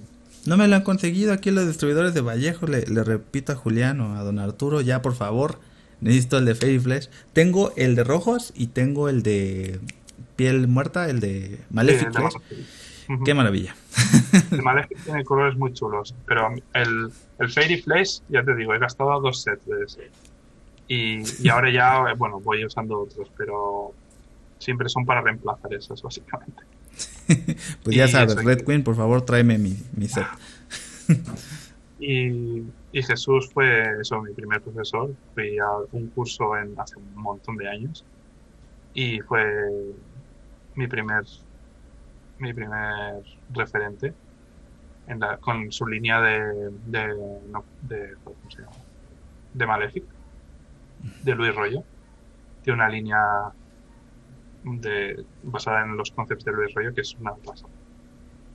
Y básicamente esa línea es la que me, me metió en la pintura de film, porque es lo primero que conocí. Órale, no, pues súper bien. Y, y de hecho es bueno que, que comentes. Yo, por ejemplo, mucha gente ha venido a clase, pero aquí difícilmente hay alguien que te dé clase, ¿no? Entonces, a mí me gustaría tomar clase eventualmente con alguien bueno, porque creo que la formación ayuda mucho a ahorrar tiempo y los trucos y el entendimiento esperemos que eventualmente se arme ahí ese asunto que ando armando para ver si este, nos pueden pasar un poquito. Sería muy, muy interesante sacarlos de, de Europa. Hombre, seguro que sí, seguro que sí. Más si, si estáis haciendo una comunidad, eso eh, evoluciona a la que tenga un poco de tamaño, evoluciona solo. Claro. Sí, pues, pues es la idea y, y, es lo que te digo, siempre estamos buscando eso, que, que la gente se anime a hacer, ser y mejorar, ¿no? Ah. Eh, y pues yo, yo, por ejemplo, te puedo decir que de inspiración, pues todo el mundo, ¿no? Porque todos están haciendo cosas increíbles. Eh, yo le preguntaba a Alfonso sobre la historia de los pintores españoles, ya me quedó más que claro ese punto y tiene mucho sentido la visión que tiene respecto a la tradición histórica de pintura en España, ¿no? Porque casi no es fan. Este, yo creo que nos quedó muy claro. Este, pero viéndolo al revés, eh, por ejemplo, conoces eh, algunos pintores de otros lados que te gusten, de, de, América como continente como tal, este, que te guste mucho su trabajo, o sus videos, por ejemplo, co co consumes este YouTube, o que, de todo eso. Pues no, la verdad es que no. Nadie. eh, conozco, sí, conozco a, al Miniac, pero bueno, hemos hablado un par de veces y, y lo, lo, conozco más. Sigo su canal y veo vídeos y tal. No tanto por pintura, sino por entretenimiento. Claro. Mm. Es, es, muy chistoso. sí. Y mm, por el lado americano, la verdad es que no. No me, ahora mismo no me sale nadie. Sé que, por ejemplo, Eric Swinson, por ejemplo, creo que es americano y pinta muy bien. Pero, pero ahora mismo no, no caigo en, en, nadie que siga de por ahí. Pues sí, quizá tengamos que sembrar más, ¿no? Sobre todo en el área de Latinoamérica. Conozco un canal este brasileño muy muy bueno y he tratado estoy tratando de contactarlo y por uh -huh. ejemplo de la plática pasada me mandó un mensaje este Roberto Chaudón que es mexicano que es escultor y anda por allá que, que uh -huh. es un grande y vamos a armar una entrevista un programazo este le mando saludos este pero precisamente esa intención no de que haya más arte y menos este menos alcohol y violencia porque aquí hay, hay mucha no y, y, y, valdría la pena sobre todo para gente pues nueva no que, que, que quiere claro. hacer algo no yo creo que si algo nos ha dejado la pandemia es, es la importancia de tener un, un, hobby o algo que te apasiona aparte del claro. trabajo. en Latinoamérica nos pasa mucho que trabajamos demasiadas horas eh, 9 de la mañana 8 de la mañana a 9 de la noche porque aparte hay que manejar aquí en la Ciudad de México dos horas a tu casa y pues ya llegas y no haces nada, ¿no? Te bañas y te duermes y de nuevo, y de nuevo, y de nuevo. Y espero que al menos yo he visto el crecimiento en la pandemia de la gente que sigue este hobby, pues que más gente se inspire y, y sobre todo porque de alguna forma yo considero que es un ejercicio de introspección constante y, sí, sí, sí. y, que es muy positivo, ¿no? Bueno, yo lo veo como algo muy, ventajoso. Ya que después te quieres aventar a ser el mejor y este y, al ruedo en redes sociales ya es otro rollo. Pero al menos tú sentarte a hacer algo así es, muy es muy reconfortante. Yo, creo que le ha ido muy bien al hobby de la pintura eh, en, la, pandemia. Yo creo que ha, hecho crecer bastante eh, porque se han visto Kickstarters mucho más eh, exitosos como que hay mucho más, mucha más pintura. ¿Sabes qué también me está gustando de los Kickstarters? Lo que hiciste con este Big Child. O sea, lo que hicieron de Marvel. y, o sea, para que me entiendas. Primero rompió caras en internet. Pero segundo, eh, le planteó el punto artístico a las figuras de un juego. O sea, lo sacamos del plano de que son de exhibición, de que este 75 milímetros, mírenme qué, qué bien lo hago, a qué impresión lo que estoy viendo y estoy jugando con él. Yo creo que ese es el paso al que se está moviendo la industria. Lo vimos con el Kickstarter que sacó Cool Minor no también con este Massive Darkness 2. Sí. Puta, las figuras están espectaculares, son obras de arte, pero...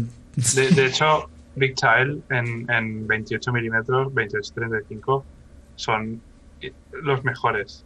O sea, no, salen mejores figuras que las que salen de, de está espectacular su trabajo. Yo creo que ya están logrando de alguna forma borrar esa línea entre lo que es solo para competir y lo que se disfruta y aparte impresiona, ¿no? O sea, eh, para allá vamos, me imagino. Sí, sí, es, es, muy interesante el trabajo que está haciendo para allá. Yo, yo honestamente, como sí estamos haciendo modelados y, y, tenemos, digamos, la intención de, de, hacer algo así, ¿no? O sea, un estudio completo que ofrezca pintura, fotografía, modelado, este, todo ese rollo, ¿no? Hacemos reseñas en video de juegos de mesa donde sale mi, mi cuate Luis, que le van salud. este, que, que mostramos el entretenimiento que te da el juego y ya yo por mi parte pinto las figuras, que es otro entretenimiento que te da el juego, ¿no? Entonces, si tienen esos planos amplios como los chibis de Marvel United, este, que, te permiten jugar con luces, con, con entendimiento, con pues ya, lo tienes todo en una cajita, ¿no? Básicamente. a mí me parece mm, ideal, sobre todo para, para iniciarse tanto en el juego, que es un juego sencillo, como en la pintura, es ideal. De hecho, yo me lo cogí todo, me lo compré todo. Eh, eh, yo convencí a un amigo de la oficina que ni jugaba nada, pero le encanta Marvel y él pidió todo. Entonces le pinté el juego base, probablemente, ojalá me cargue de lo demás, porque de verdad que te vuelan la cabeza esas miniaturas, ¿no? Me, tocó también pintar todo el Crisis Protocol, que la escala es como cómic, es mucho más eh, realista, digamos. Este, y no disfruté tanto como el reto que me presentó pintar estos chivis, ¿no? Hasta dice hay un tutorial del Capitán América y todo. Y yo lo recomiendo mucho a la gente porque curiosamente ese juego lo están produciendo aquí en México, la versión de Latinoamérica y América. Entonces está muy económico, súper accesible, aprendes un montón y vale mucho la pena, ¿no?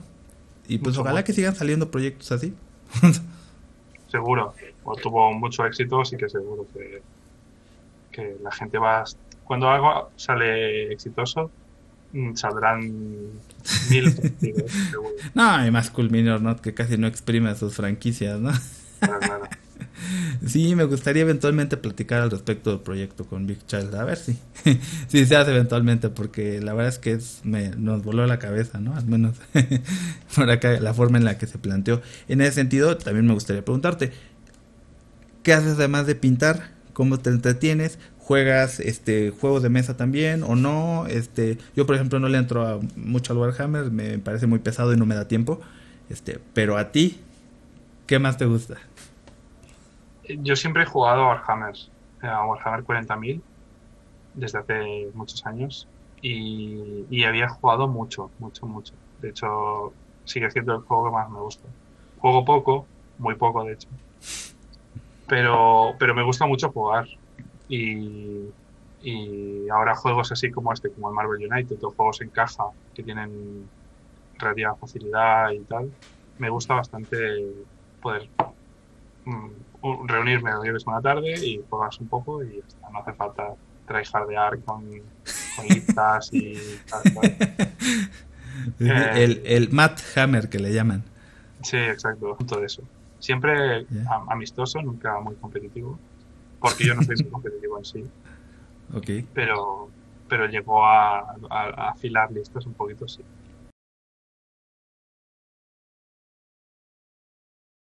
Y me gusta mucho, aunque ahora ya en, la pandemia pues me ha quedado un poco ahí, me gusta mucho ir al cine, pero mucho. O sea, antes de la pandemia íbamos fácilmente tres, cuatro veces por semana. Wow. Ah, sí, sí. lo veíamos todo. veíamos todo lo que había. Ok, nada, mi señora no, no es muy fan ni yo tampoco. Pero yo, por ejemplo, este, al, al, cine, el cine lo tengo reservado para películas espectaculares, ¿no? O sea, por ejemplo, ahorita que anunciaron este Kong contra Godzilla, ojalá la pueda ver en el cine, porque es algo que... pues la, la última de, de, Godzilla, que era la Godzilla... ¿Cómo se llamaba? Eh, ¿Rey de los monstruos? Rey de los monstruos, sí. Sí, sí, sí. Eh, para mí fue demasiado. O sea, había tantas cosas y era todo tan excesivo que, me abrumó. Y era como, mira, mm, un poquito menos, por favor. Ok. Y, mira que me gusta, ¿eh? Yo como mejor, más grande la pantalla, más grande el sonido, más todo, mejor. Pero esta sí que fue como, uff. Aquí tenemos una cosa que es verdad que aquí eso está muy bien, que es un, una tarifa plana que pagamos 17 libras al mes y podemos ir tantas veces como queramos. Ah, sí, pues con razón se la viven ahí. Claro, claro. Y además en mi cine, en el cine de mi pueblo, bueno, es un pueblo grande de las afueras de Londres, tiene una sala que tiene butacas reclinables, con servicio de bar, mm, con... estás, estás como eh, un rey. Es pasa una nada, primo. Pero es increíble. De hecho, en la sala solo hay, creo que son menos de 20 sillas, porque son enormes. Ok. Y, y claro, cuando empiezas a ver el cine desde esas butacas, volver a las otras cuesta. Pero, pero es, es, ese es básicamente mi, mi hobby antes de la pandemia. Ya, bueno, ya, eh, ya volverás. Te estarán esperando tus, tus butacas. Sí, a ver. Sí, fíjate, yo eh, como siempre estoy exageradamente ocupado entre que el trabajo normal, la bebé, este, eh, el negocio, la comisión de pinturas, la creación de contenido, el, pues honestamente ya casi casi nada más escucho las obras audiovisuales. Siempre hago el chiste de que, o sea, por ejemplo, Walking Dead me gustaba verlo, ya ya no me gustaba verlo porque nunca lo veía. Hablan 50 minutos y se comen a alguien en esos dos minutos. Entonces puede estar pintando, puede estar... ya, ya ah, pues creo que se van a comer a alguien ya. ¿Ves? Bueno, sí, es también... claro. ya sigues en lo tuyo, Que, que yo veo series para vivir porque básicamente lo que hago todo el día es estoy pintando y, tengo una serie, una peli eh, permanentemente en el ordenador. Y, y, hay veces que me acabo series en un día porque como las pongo en, seguido, si es una serie corta, pues en un día me la ventilo. Eh, depende, ¿no? También, Claro, depende de la serie. hay cosas que cuando las empiezo, si veo que son muy interesantes o muy intensas, ese es material de, ver. Sí, sí, y ya pones a un lado. A mí me pasa con este me han dicho todo el mundo que el Mandalorian está espectacular. No he visto ni un capítulo precisamente porque sé que no tengo el tiempo de sentarme a verlo correctamente. Y me pasó ahorita con la serie esta de Sweet Home que salió en Netflix, que es coreana, está me, me encantó, está espectacular. Porque ¿sabes qué? Voy a tener que dejar el pincel aquí. Quiero ver la serie. Y, está padre, no me la eché igual como en un día bien traumado, ¿no? Porque está muy bueno. Me, me encantan todos esos conceptos. Este apocalíptico así, sobrevivencia. me pasó con, con Altered Carbon. La estaba ah, viendo eh, la primera temporada, la segunda no me gustó tanto. Pero la primera la estaba viendo pintando y fue como, no, a ver, esto me está enganchando. Vamos a pasarlo a, a mi horario normal de ver, de ver, series. Ah, ¿tú tienes horario normal de ver series? No manches. Bueno, cuando, cuando, comemos, lo típico después de cenar o algo así. No, pues sí, Sí, eh, insistimos. Em, uno ve esas series, por ejemplo, esta de Sweet Home, que sale el monstruo así, loquísimo, y dices, puta, o sea, pintar una escultura así de eso estaría increíble, ¿no? Y, volvemos a la, parte de qué te inspira, qué observas en el mundo, qué, qué te gustaría te pintar, por ejemplo, que nosotros estamos haciendo estas figuras. Este, y, seguramente a ti te pasa, ¿no? Bueno, a mí me sucede que veo un material o veo un tono y digo, ay, igual y, a ver, ¿cómo podría imitar esto? Y, me parece maravilloso porque ya te pones unos lentes de... sí, sí, sí. A mí me pasa mucho con películas de fantasía o ciencia ficción, con, con las pelis de, de superhéroes que me encantan. Soy muy fan de tanto Marvel como Star Wars, todo esto me flipa cuando veo estas pelis siempre salgo como motivado para pintar. Es decir, quiero pintar algo de lo que he visto, o no necesariamente exactamente eso, sino algo fantasioso. O pelis, me gustan mucho las pelis de pelis de dragones. También me mm. motivan mucho. es, pues, Dile a bicéfalo. Sí, bueno, los dragones son algo que me, flipa. y, he ido coleccionando pelis um, randoms que he visto por ahí, de, que son de temática de dragones. Y me he Corazón de dragón. Bueno, esa es un este, clásico. Eh, el reinado del fuego aquí le llamaban, que es una este, apocalíptica. Eh, cómo entrenar a tu dragón. Este, no, no, no, Pero esas son las normales. Luego hay muchas pelis de serie B. Ah, bueno, bueno. De, esos del Sci-Fi Channel, ¿no? Hay algunas muy interesantes y hay otras que son churros. Pero hay algunas muy bien hechas. Y... esculturas de dragones tienes? No, muchas. Tengo una porque es algo que, creo que es una, una, mm, una asignatura pendiente en el mundillo. Creo que, en mi opinión, no hay buenos dragones para pintar. Hay buenos dragones. Hay buenas figuras de dragones. Yo, te voy a presumir mi favorito y tú me vas a decir. Y, y, no y no es este dragón alebrije bicéfalo que me hizo mi esposa, no, no es este, pero me gusta mucho. Mira, te está atacando la bestia. Mira, déjate presumo. Habla de dragones,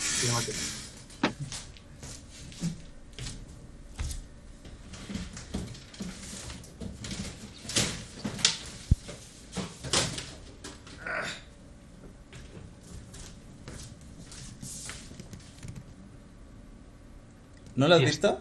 No. No lo has visto. Tiene buena pinta, ¿eh?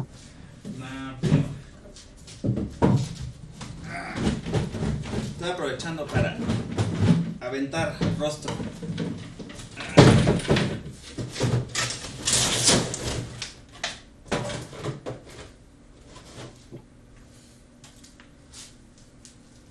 Para empezar es importante decir que es una escala de 15 milímetros, más o menos. Hombre, es, un poco es grande, grande. tiene buena pinta, tiene muy buena pinta. Yo creo, yo pienso que es el mejor modelo de dragón que se ha hecho. Además de los dragones de, hay unos muy padres, por ejemplo, este Lord of the Print tiene unos buenos. Eh, Draco Studios hicieron unos muy chidos, este que son mexicanos. Este, pero este es mi favorito. Es muy chulo, tiene muy buena pinta. Es una cosa... ¿Qué será? Lo que pasa, lo que, lo que yo considero, o sea, eso es lo que, lo que me cuesta a mí cuando veo figuras de dragones, el, el balance en que sea espectacular y que sea fácilmente pintable, no, no solo fácilmente, sino que acepte pintura de una forma correcta, ¿no? Y, por ejemplo, el dragón de Kulmini, el Kang, es el, el mejor dragón que existe indiscutiblemente. Pero eso es impintable. Entonces, eh, porque tiene mucha textura, porque ah, obviamente mide 4 metros, pero... Cierto, sí. Eh, por ejemplo, los que creo que están en, mejor balance de dragón, o sea, de pintables y espectaculares, son los de Carol Rubik. Para mí esos son los mejores. Ok, eh, los voy a poner aquí como referencia y, seguramente tendré que conseguir uno. El único que tengo es eh, uno de Carol que es el, el de dos cabezas, justamente, que te gustará. ¿Dónde, ¿Dónde he estado toda mi vida? es espectacular. o sea, en, directo, aparte de ser así, es increíble porque el tío modela a mano, pero modela a mano de una manera tan mm, pulcra que parece un 3D.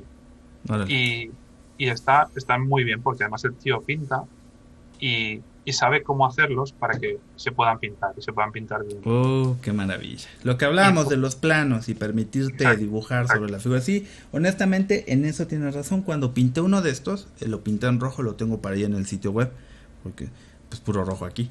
este, eh, sí noté que había secciones a las que no podía hacerles mucho. O sea, le tiras arriba y ya está, quizá un dry brush para la escama y ya está, y por más que traté de meterle óleos para darle más profundidad, pero ya tiene mucha textura, entonces como que no, no había atrás por Lo general, por lo general la textura es un enemigo de la pintura. Si, si una figura ya tiene textura, ya pierde gran parte de la gracia, porque no puedes pintar bien encima de la textura. Y luego las poses suelen ser, en, los dragones suelen ser bastante complejas y y a veces no te deja jugar mucho con la pintura.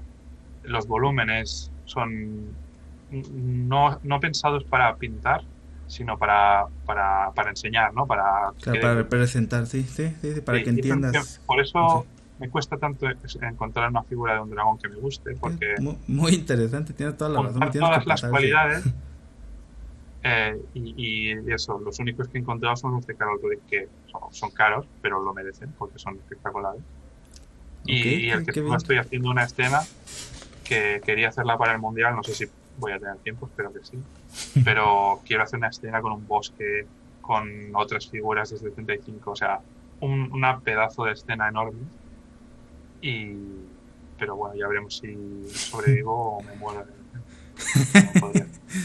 sí, sí. Y, por ejemplo, eso es algo que siempre pasa. A mí me pasa muchísimo que digo, ok, le invierto 10 horas un proyecto que yo sé que me va a hacer mejorar porque voy a intentar algo que no me sale. O le invierto 10 horas a esta comisión que tiene 3 meses y que no he podido sacar porque tengo mucho trabajo. Entonces, es muy complejo ese, ese balance, ¿no? Sobre todo yo que estoy aprendiendo mucho todavía, este, pues tengo que balancear todo, pero entiendo, al menos para mí, que conviene retrasar un poco ese ingreso e invertir en mi técnica, ¿no? Al menos para mí. Yo, creo, que es importante, ¿no? Es, esencial, sobre todo cuando ah, yo pinto mucho, como a mí me, gusta mucho pintar, pinto por, motivación, por, porque, me apetece, porque me lo paso bien. Pero esa motivación la voy gastando a medida que voy pintando cosas que no me gustan.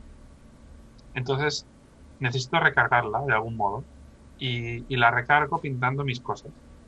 Y hay veces que tienes mm, eh, un, muchos encargos juntos que no puedes atrasar, pero es que si no pintas algo tuyo y, recuperas esa motivación, no vas a poder pintar el resto, porque es que no, pintar es algo muy difícil y requiere mucha eh, concentración, motivación, cabeza. Y si no... Paciencia. Paciencia, desde luego si no tienes un poco de, de pilas cargadas, un proyecto que a lo mejor duraría tres días, este dura dos semanas. Entonces, para eso, mejor pinto una cosa para mí, recargo pilas y tiro para, para otra. yo, lo hago eso con algunos juegos que tengo o con mi ejército del caos que probablemente nunca vaya a jugar, pero tengo puros marines del caos, son mi facción favorita. este, me encantan los Greater Possessed porque eh, desde el punto de vista de pintura me encanta que tienen pezuñas, piel, armadura, ojos brillantes, fuegos, este, o sea, lo tiene todo. Entonces, para mí es un agasajo pintar e, esa facción en específico, cosa que no me pasa, por ejemplo, con los Taos se me hacen aburridones, este, y etcétera, etcétera, ¿no? Ahí tú, ¿qué, ¿qué, juegas? ¿Cuáles son los tuyos? ¿Cuáles son los meros meros? Seguramente hay gente fan que va... He jugado muchas cosas. Eh, mi ejército de toda la vida ha sido eh, Chaos, eh, Marines de Nurgle, de la okay, Antes eran muy malos, siempre han sido muy malos. y, y, cuando lo renovaron, pues la verdad es que ahora han mejorado mucho, tienen muchas más tropas y están muy bien. Creo que al principio, creo que más, ahora menos, pero el, el rollete este que le han dado ahora de un poco cómico, creo que me gusta un poco menos. Antes era mucho más, más duro y más tétrico y sí, y, y, me molaba. Ahora tiene un... Me, me gusta, ¿eh? Los, los unurletes estos cachondísimos. Los enanitos, ¿eh? ¿No? Están ahí. Me encanta. Pero a veces se me hace demasiado. Y los marines me gustan mucho. Creo que todo lo que es el, el imperio y los marines eh, todo el trasfondo, las, las novelas me las he leído eh, de la energía. me gusta mucho. Entonces tú sí eres fan fan, yo la verdad es que no, no he leído todo, o sea, lo único que admiro es este las ilustraciones y las esculturas, porque es lo que a mí me, me llena el ojo y con eso, este, y de hecho estoy, o sea, la verdad tengo muchísimas ganas de pintar un Mortarion, así, muchas, y y un Magnus, sería maravilloso, pero... Yo los tengo ahí guardados para cuando... Cuando mejore los pinto, ¿no?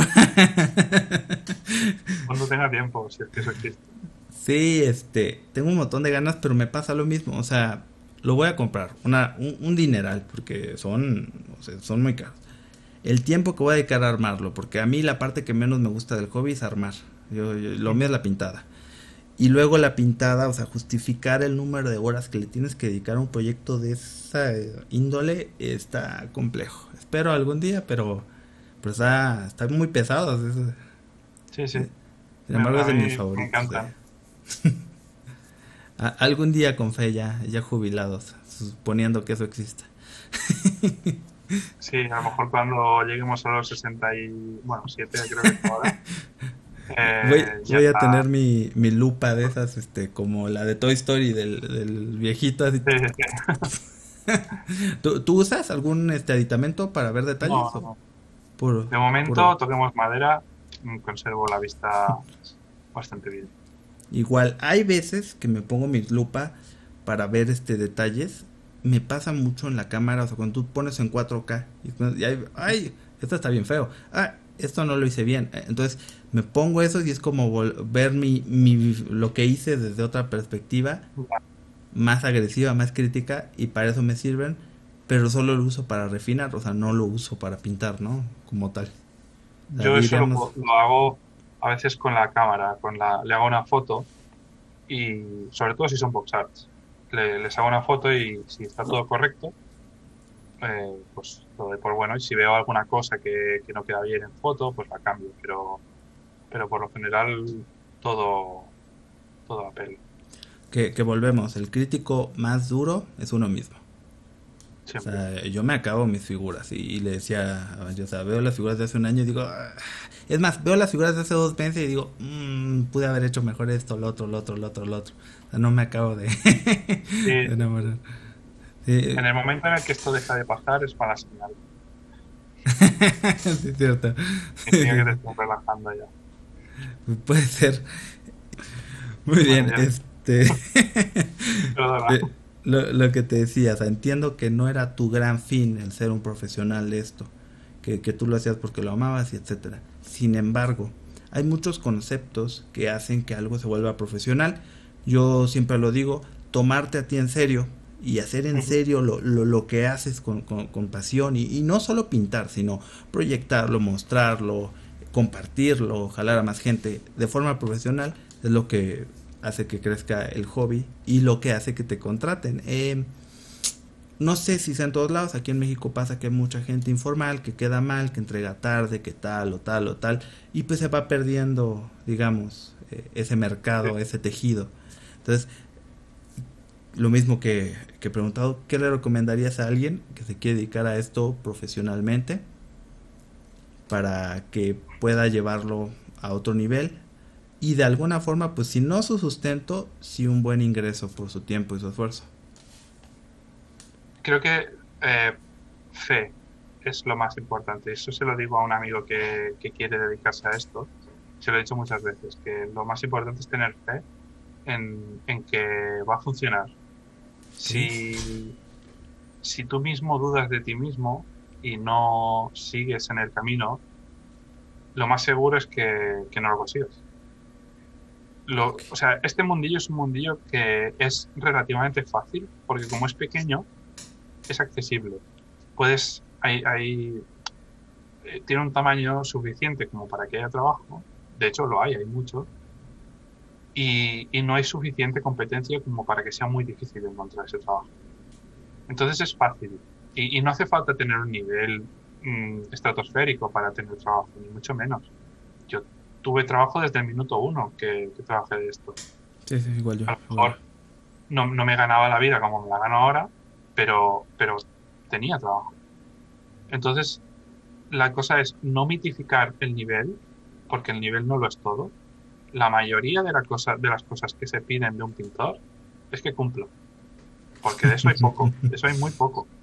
Claro. Si, cumples y estás disponible, eso es el, el 80% de, de, tu, de tu trabajo, de, de- de las capacidades que tendrás para encontrar trabajo. Luego el nivel siempre va a ayudar, obviamente, y va a, mejor- va a hacer que mejore tu trabajo y que cobres más y, y esas cosas, ¿no? Que es al final a lo que aspiramos todos, a trabajar menos y cobrar más. Pero, pero desde el principio eh, es relativamente fácil. Lo único que tienes que ser es profesional, eh, seguir trabajando, o sea, no parar, no... Esto es una, una bola de nieve. Si, si tú empiezas, tienes una, una pequeña bola y como más vas haciendo, más, más grande se va haciendo, más trabajo te va entrando, entonces tú más vas haciendo y, y eso va retroalimentándote, ¿sabes? Entonces, como yo creo que es- si, si tú paras, si, si dejas que esa bola pare, tienes que volverla a empezar. Sí, Entonces, es no ¿no? dejarla empezar. Tener, tener la fe de que tienes, de que la bola va a crecer, va a seguir creciendo. Y, y otra cosa es, si tú quieres trabajar de algo, por ejemplo, yo quiero pintar eh, 28 mm, de Warhammer, por ejemplo, para vivir. Pues pinta 28 de Warhammer. Porque la gente te va a encargar lo que ve que haces. Si tú, si tú quieres eh, pintar bustos para vivir, pinta bustos, no pintes Warhammer. Porque la gente te va a pedir lo que, lo que esté viendo en tu, en tu Instagram, en, tu, en tus redes. No te van a pedir cosas que no ven. Claro. Entonces, sé consecuente con lo que, con lo que quieres de tu trabajo y ten fe en, en- en que funcionará. Si tú pones, si tú pones tu mente en ello, no, no, no es nada en plan eh, ayuda ni nada por que- o sea, pasamos Pero- de, la, de la predicador Banshee al, este, al coach de vida Arnau. No, no, no es, no es un rollo de este de tú puedes porque eres mm, precioso, no. No, no es ese. Eres un ser de luz. Exacto. Es que eh, si te comprometes con, con tu idea, es la única manera de que funcione. Si no te comprometes, no funciona. Eso desde luego. Entonces, el primer paso es comprometerte y, y ser profesional, pues eso, tener fe, seguir. Y e- eventualmente llegará. ¿Cuánto tarde en llegar? Dependerá de lo profesional que seas, lo, lo que te muevas en las redes, eh, lo que eh, lo, lo bueno que pintes, sí, pero no tanto. Más bien en, en tus dotes de, de hablar con la gente y de, Claro, de claro. estar en el mundillo, de estar en los sitios, que no al Sí. nivel. El nivel de pintura Y, es... a- y hasta suerte a veces. Es que es, esto, esto es multidisciplinario. Yo en esta aventura del emprendimiento, ¿no? Digamos, he aprendido a hacer mil cosas, edición de video, fotografía, correcciones de balances de blancos, este, pintar mejor, hablar a cámara, que, que la verdad que pues tiene su, su chiste, ¿no? Este, audio, este, edición, ya en el drama del, del capítulo anterior. este, la verdad es que aprendes muchísimo y este y precisamente es enfocar todo todo ese esfuerzo a algo concreto que honestamente si lo pensamos como pintores pues tenemos mucho de gane porque es practicar tu paciencia y tu autocrítica todo el tiempo. Entonces debería ser más sencillo que no sé que otro tipo de, de disciplinas o cosas en ese sentido no digo no hay que desesperarse. Yo por ejemplo tengo pues, o sea, de los cinco años que he pintado poco menos, cuatro años he tenido trabajo todos los días. No me ha pasado un solo día sin comisión. Entonces, y, y cuando veo a alguien nuevo, lo invito y lo aliento y lo comparto porque sé que va a crecer y que a todos nos va a llegar trabajo, ¿no? O sea, claro, y, el, el, trabajo, algo que también es, a veces cuando empiezas no, no, no lo entiendes, es que hay trabajo para todos los niveles. Cuando eres un pintor novel, hay gente que, que quiere una pintura rápida para, para sus Warhammer o para lo que sea. Entonces, y, obviamente tardarás menos porque es una pintura más rápida. Entonces, obviamente también ganarás menos porque eres menos hábil. Pero siempre hay alguien que quiere eh, un nivel de pintura, obviamente atando el nivel de pintura al precio, eh, en el que estés. Siempre habrá alguien. Ya sea marcas de pintura que están empezando y necesitan un box art de un artista que esté empezando, por ejemplo. Eso pasa mucho. Oye, pero es complejo ese, ese, balance, ¿eh? o sea, bueno, yo me han dicho, no, pues ¿cuánto por estas? Eh, tanto. Ay, no es que es mucho, ¿no me las puedes hacer más sencillas? Y oh, me, me, no sé si te ha pasado, pero me, oh, me, me cuesta mucho trabajo no dar el máximo en un trabajo, me, ahora ya me ayuda no, mi, socio. No tienes que hacerlo, ¿eh? Para, para mí siempre tienes que pintar al máximo. Pintar menos es eh, es tirarte piedras bajo tu propio tejado. Es lo que yo pienso. Si tú pintas mejor, te llegarán mejores encargos. Y como mejores encargos tengas, mejor vas a pintar. Y eso es una parte de la bola de nieve. Como más vayas subiendo, más puedes cobrar, menos trabajo tienes que hacer para ganar el mismo dinero, mejor será el, siguiente trabajo. Entonces, eso se va retroalimentando. si tú acotando que la bola de nieve al principio es pequeña, frágil, compleja, tiene pajas, no gira bien, o sea, y ya eventualmente va agarrando más, porque está esta etapa que a todos seguramente nos pasó, que te daban dos pesos por la figura, tenías que pintar mucho volumen, este, yo le llamo la etapa de la moledora de carne, ¿no? Ahí se ve quién, quién sale no. Claro, yo, yo, empecé pintando marines a 3 euros. Y mm, pensaba.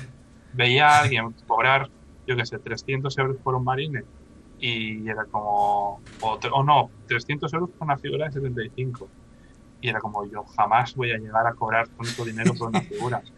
Y ahora cobro mucho más que eso. No, aquí en México hay gente que paga 2 dólares por un marín. Y hay gente que acepta que le paguen eso. Entonces es complejo, pero se va creando. Por eso digo que siempre habrá alguien que te pague en el nivel en el que estés. Obviamente tiene que ver también que tú pidas el dinero correspondiente a lo que te toca, ¿no? Eso también es difícil, es muy difícil. Sí, sí, sí, No, sobre todo por el ego, ¿no? Tendemos a pensar que nuestro tiempo y nuestro dinero vale más que el de las personas, de otras personas, pues. Y, es complejo socialmente. ¿Pasa eso o al revés? A mí me ha pasado siempre al revés. Que siempre he infracobrado porque no creo que mi, que, lo que yo hago merezca el dinero que me están y siempre me ha pasado que eh, yo he cobrado mucho menos de lo que debería. Por, por, miedo, por miedo a no estar suficiente o que lo vea y diga yo he pagado por un, por algo mejor, ¿sabes? Ese miedo. Yo soy muy inseguro en mi cultura. Y cuando era más joven, pues eh, lo era más. Wow. Pues, es muy interesante ver a alguien con tanto nivel expresarse así. Eh, obviamente vamos a estar poniendo aquí los trabajos de Arnau tienes una figura que es sin duda mi favorita, que es una como, creo que es una caballero medieval, que tiene una armadura brillante y le hiciste el, el cielo y la tierra, así como... o sea, yo veo... Es, es, de esos trabajos y esos proyectos que yo siempre le digo a la gente que, que vean, no importa de dónde vengas, no importa si conoces del mundo, no, no importa nada, o sea, tú ves y todo el mundo, eso es una figura y, está padrísimo y yo por ejemplo aspiro a lograr eso algún día.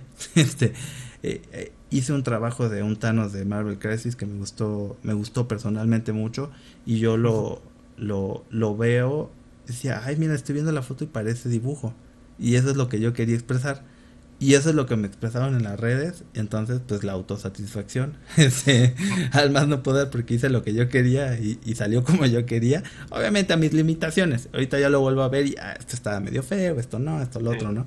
Pero, pero me, me, encanta ese, ese rollo de contagiar esa ilusión por medio del trabajo.